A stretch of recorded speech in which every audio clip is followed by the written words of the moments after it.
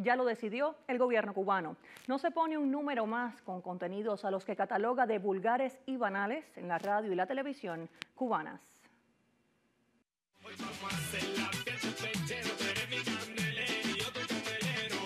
A partir de ahora está prohibido tocar en la radio y la televisión cubanas canciones como esta.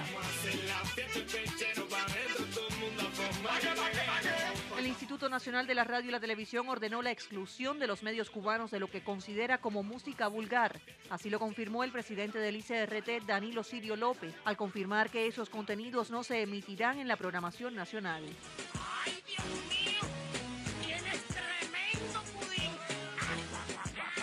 La decisión se anunció este miércoles ante la Asamblea Nacional Cubana.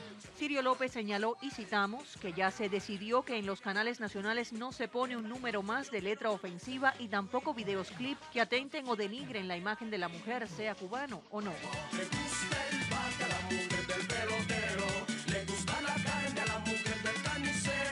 El reggaetonero cubano Baby Lores coincide con la postura del gobierno de La Habana. Hay un reggaetón bastante underground, o como le decimos nosotros en la calle, vulgar, que sí recibe, no solo en, Cuba, en Puerto Rico también lo recibe, que es donde, nace, lo recibe en México, en cualquier país donde se hable más de las mujeres, o se hable más de los niños, o se diga cosas vulgares o palabras obscenas, creo que es normal que la censura siempre esté encima de género, no importa qué género sea.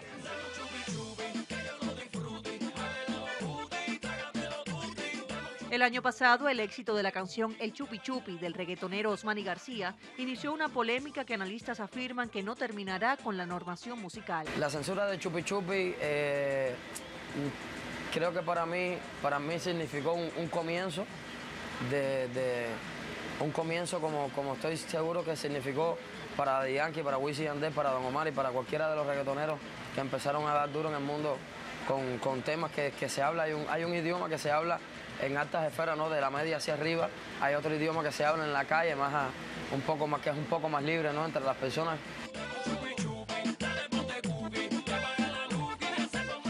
Las reacciones a la controversial decisión no se han hecho esperar, mientras muchos recuerdan que parte de la música cubana se ha caracterizado a lo largo de su rica historia por poseer contenidos de doble sentido.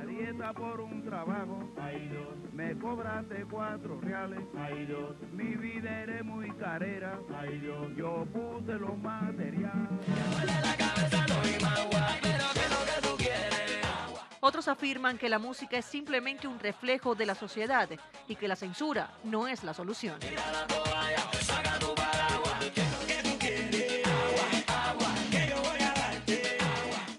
El viceministro de Cultura de Cuba, Fernando Rojas, ha dicho que desde hace meses se trabaja en crear una norma jurídica para preservar lo que calificó como la promoción del buen gusto a cargo de un equipo de especialistas y musicólogos que deberá ser acatada por las instituciones estatales.